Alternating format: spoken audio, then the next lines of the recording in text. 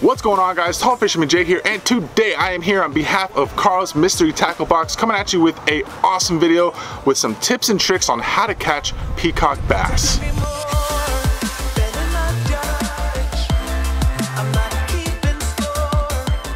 Now down here in South Florida, peacock bass are thriving. They get so big. It's the season for them. They love the heat. They love that warm water. These fish are so fun to catch. They're one of the most aggressive freshwater fish out there. Now there are many ways to catch these fish and that is what I'm going to go over today. I got a lot of cool and interesting baits in my box this month. So I'm gonna go and show you some tips and tricks, how to tie these things up, how to use these baits, when to use them, all that stuff. So stay tuned, it's going to be a awesome video. All right guys, so the first bait that we're going to use out of the box is this beautiful Whopper Plopper shad color. Now this is going to work pretty good. Now these peacock bass, they love commotion. This thing is gonna be ripping across the top, making all kinds of commotion. They see that from the bottom and they just come up and absolutely destroy it. Whether it be a bedding pea that you run across their bed or just a pea that's swimming by, he sees this, he's going to absolutely want to wreck it. So I have a feeling we're gonna get a couple on this. Let's see how it goes. Hopefully there's some big giants out today. So let's get started.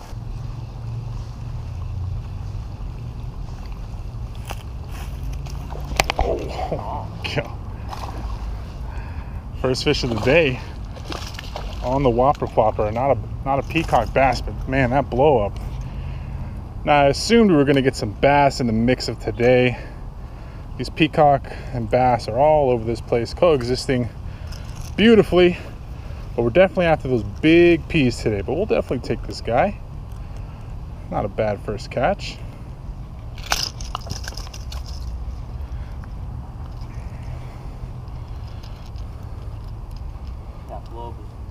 That's pretty cool blow off.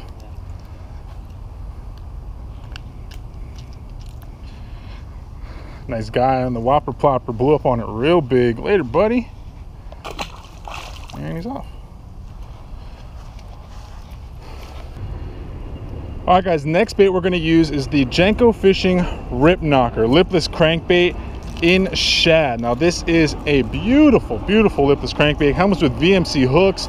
This thing is going to be killer on any bedding peas, rip it past them, or any kind of schooling peas that are feeding up on bait. They just see this and think of it as a quick meal and they're gonna snatch it right up. So we're gonna tie this up right now and see what we can do. Oh my gosh, another bass. These bass, these bass just won't give up. This is actually a really good sized bass. Bigger than the last one. Always getting in the way of the peas. Trying to work some peas. And this Mr. Bass just will not give me a break. A catch is a catch. We we'll definitely won't deny a catch from bass, but gotta get some peas on the board. There we go. Wrecked it right on the bank. Oh, we got a big one, boys. That is a good fish. For dramatic.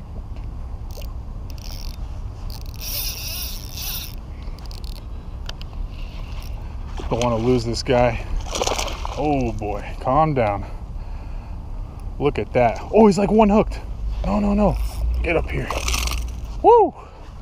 First P of the day. Finally, those bass gave us a break on the Jenko Fishing's rattle trap. Look at that fish, you guys. That is just a beautiful South Florida peacock bass. Gotta be careful. This one has not too big of a hump. I've seen bigger, but the colors on this thing is beautiful. The blue in his dorsal, the orange, the blue on his tail, the spot. These things are gorgeous. We're gonna let this guy go, try and catch some more. That Jenko lipless crank really, really does work. Gets these peas flared up. Oh, look at that beauty. You ready, buddy? Yes, he is. All right, guys, what we're gonna try next is the Bass Dynasty 5-inch Dyna paddle. It is in crazy plum. It's a nice translucent purple. Now, this is something, when it comes to peas, probably wouldn't work unless you can find a bedding pea, because this is not a lure that you can kind of swim across or work in a school of bait. This is something that if you see a peacock, you're gonna put it right on his bed. He's gonna get pissed. He's probably gonna pick it up and spit it out and try and move it off of his bed first if you keep at it, he will get so mad, he's just gonna eat it.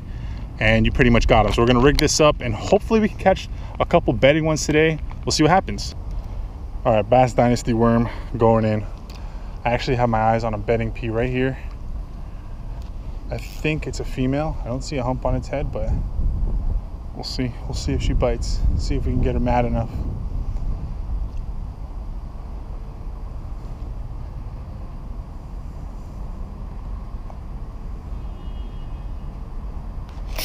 Here we go. Got it. Oh my gosh. She completely wrecked that worm, you guys. Put it right on her head. Oh. Oh man, she's gonna jump. She's gonna jump. Oh my. Oh, listen to this follower. Oh, this followers, followers. Oh my god, there's an absolute giant follower, dude. Oh, oh, oh, that's her.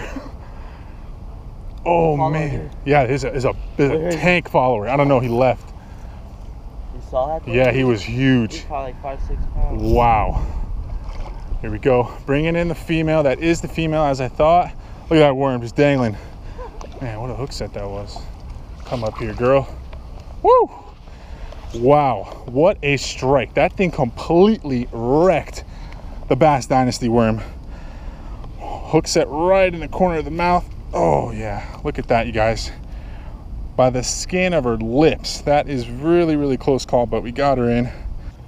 So what we're gonna try next is the Biospawn Exo Swim 4 inch matched up with the Zone Lock 4-aught wide gap hook. Now we're gonna do the same method. We're gonna just pop them along banks, try and find some bedding peas, maybe some protective parents on a fry ball or something like that. Hopefully we can get a nice one on the Biospawn Exo Swim. So let's go ahead and tie this on and see how it does. Oh! Oh, there we go. Oh my. Oh my gosh. Right at the edge, dude, right on the bank. Came up and absolutely destroyed the swim bait. A little guy. Man, look at the colors. This one's super light. So beautiful. Look at that. Wow. He just came up and wrecked it on the pop, on that pause. As soon as you twitch it and pause it, these things come up and swipe at it. Wow, what a take.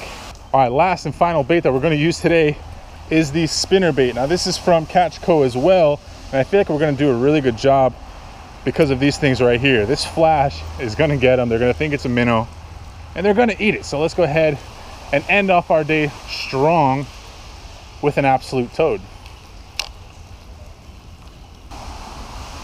Here we go. Got one on the spinner bait. Whoa! right at the edge here, guys, right on the bank, running that spinnerbait along this grass and rocks. These guys just destroy it. Get up here, buddy. Calm down. Oh, doubled up. Here we go. Another decent one on the Catch Co spinnerbait. We will take it. Look at the definition of these guys. Wow. All right, you guys, that is going to do it today. That is all the time that I have. I hope you guys enjoyed this video, as well as took some information away for when you guys want to try and catch peacock bass. Makes it a little bit easier. If you guys want to see more of me on the channel, make sure you leave a like on this video, as well as a comment below telling me how much you guys enjoyed the content. Also, for all the latest and greatest fishing content, make sure you hit that subscribe button below, as well as post notification. Turn those bad boys on. And until next time, I will see you guys later.